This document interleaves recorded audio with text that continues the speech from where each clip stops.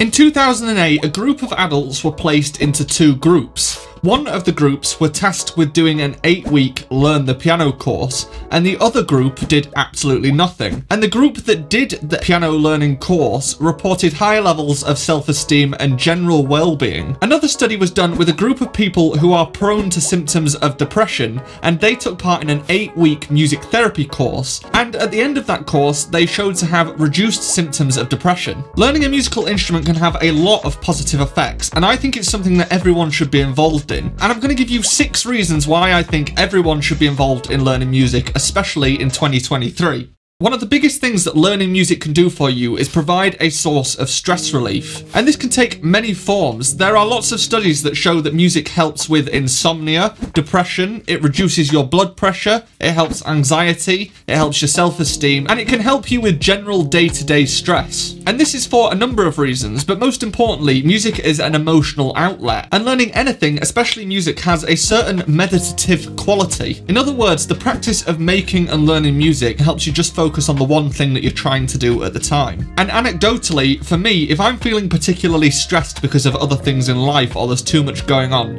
if I just sit down at the piano and play some music or spend a bit of time focusing on learning a piece, it really does just sort of slow you down and change your mindset. The second thing that music can do for you is improve your mental performance. A group of 60 to 85 year olds were taught an instrument for six months and they were compared to a group of 60 to 85 year olds that didn't. And this group showed to have improved memory and it slowed the onset of things like dementia and Alzheimer's. And another study showed that learning music can enhance the brain function in children. And this is because learning music requires quite a few different things when you are engaging in learning it. You have to retain information, you have to practice an actual motor skill. You have to use the information you've learned creatively, and those that learn an instrument have actually shown to have more brain growth and developed more neural pathways than those that don't. And I actually think with any motor physical skill, you are developing your brain all the time, but learning music specifically requires so many different elements in order to do it that it's just a great way of developing your mental performance.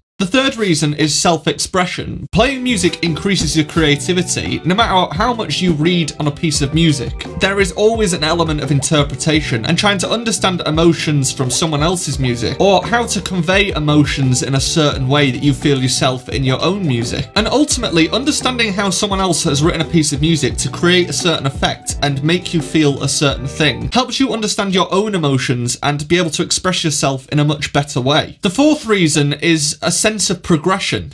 There are lots of ways in life to feel a sense of progression, be it working your way up the ladder at work, going to the gym, learning a language. And learning an instrument is no different. You can set clear, defined, achievable goals. And it's also shown to improve your patience and your time management skills, which ultimately helps you feel like you're progressing in all other aspects of life. Because by doing something long term, like learning an instrument, your expectations for everything else that you're trying to achieve become more manageable because you've improved your patience and your time management skills. Which takes me on to reason number five, which is that you learn how to learn.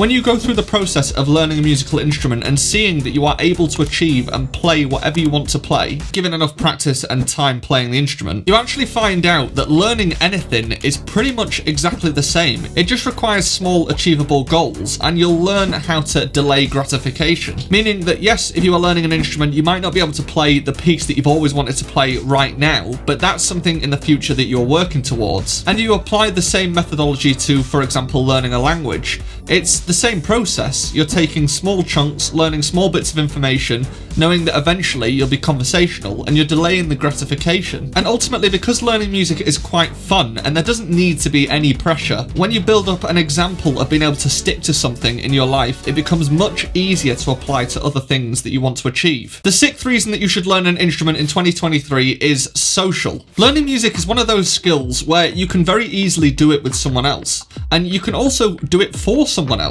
I've seen a lot of videos online where someone has secretly learnt the piano for three months so that they can play it at their wedding. But also, you can play with other people of the same ability and it provides a connection between you and that group of people. A study was done on two groups of teenagers in a school where one group were playing music as part of a social group and one group were not playing music at all. And the study showed that the group of teenagers who played music had much better interpersonal relationships with parents, with teachers, and with friends compared to those that did didn't do music. And I think there's multiple things going on here, and it leads back to all of the other reasons that I've said. You have a better ability to self-express, you have a better sense of community and sense of progression. And this doesn't necessarily mean you have to go and find a group and play with them. There are lots of groups online of people all supporting each other of varying abilities, and this can very easily provide you with a sense of community and social aspect to playing an instrument. Ultimately, learning an instrument is one of those few rare things where you not only improve your emotional intelligence, your ability to deal with stress and your brain function,